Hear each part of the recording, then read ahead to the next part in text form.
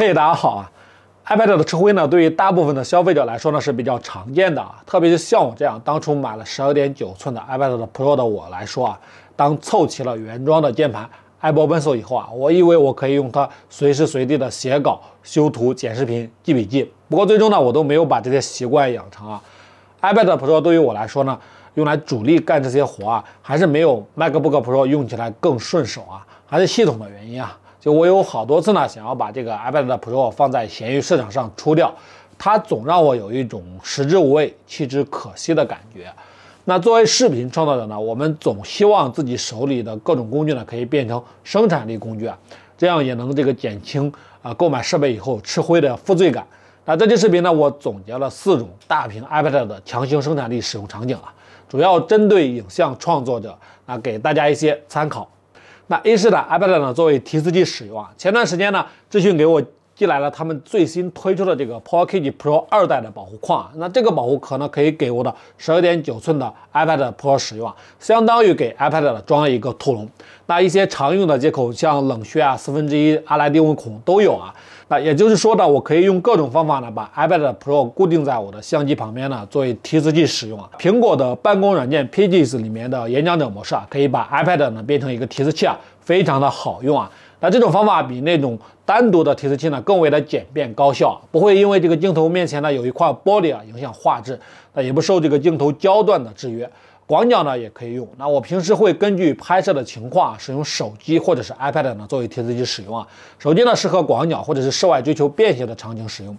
，iPad 呢适合距离相机比较远的这个三十五毫米以上的焦段啊，或者是在室内一些固定的场景来使用啊。iPad 的大屏幕很爽啊，像我这视力不太好啊，就我就觉得这个 iPad 用起来更舒服啊。不过呢，有一点啊，因为这个屏幕它不在这个镜头的正前方啊，大家在使用这种方式的时候呢，需要经过一些练习啊，就不要刻意的去盯着这个屏幕啊。那二是 iPad 呢，作为拍摄时候的无线监看设备使用啊，啊，相机端连接这个无线图传呢，我用的是影谋三，然后使用这个智讯的 APP 呢，在 iPad 上监看。比如在拍摄俯拍镜头的时候啊，啊，不方便观看相机的屏幕，iPad 呢就可以变成一个更好的观察屏幕。或者是在团队拍摄的时候，iPad 呢可以给导演呢或者是甲方这种需要监看的啊。那这次呢，给 iPad Pro 搭配的这个 Power Cage Pro 二代的保护框呢，侧面它有这个手柄的安装螺孔啊。嗯，搭配手柄握持感，这个手感更好啊。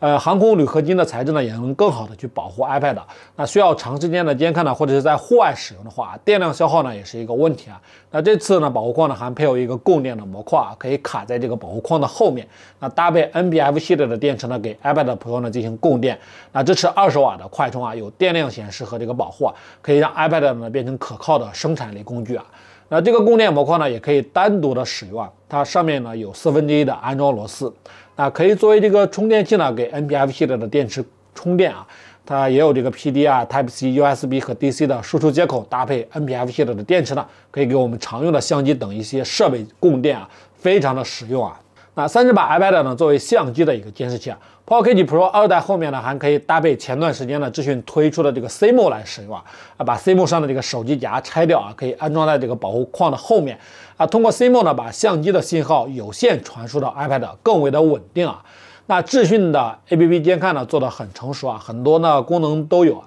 那延时呢也比较低。那之前评测 CMO 的视频呢我也做过详细的分享啊，这里呢就不多讲了。还有一个进阶的功能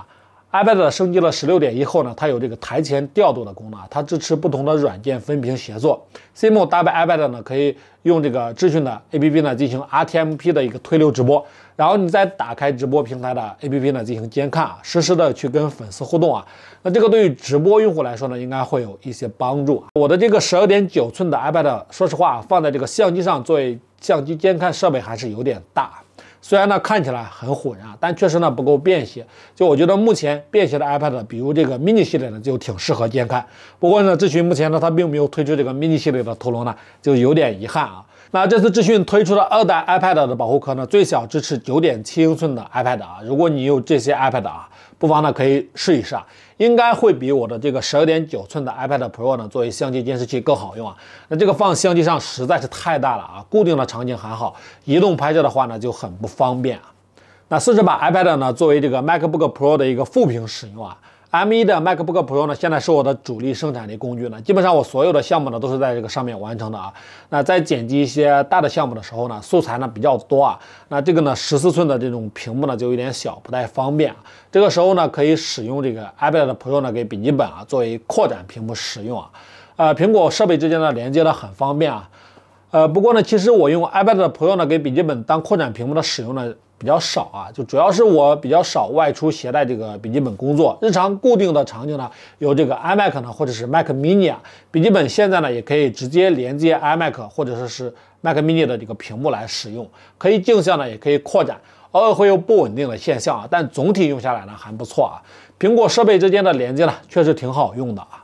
最后呢，想跟大家来说一下，就是我不建议大家呢，因为这些使用场景呢，去买 iPad 呢，买各种配件啊，而是大家有了 iPad 之后呢，再去开发这些使用场景啊。如果你真的需要的话啊，啊，或许会让你的这个 iPad 呢，不会吃灰的太厉害啊。大家有什么关于这个 iPad 的好的使用场景啊，也可以在视频里面留言分享啊。OK，那本期的视频呢，就给大家分享到这里啊，就非常感谢大家的观看和支持啊。呃，如果你喜欢我的视频的话，欢迎关注我的屏幕啊。如果你喜欢我的视频的话，欢迎关注我的频道。我们下期再见，拜拜。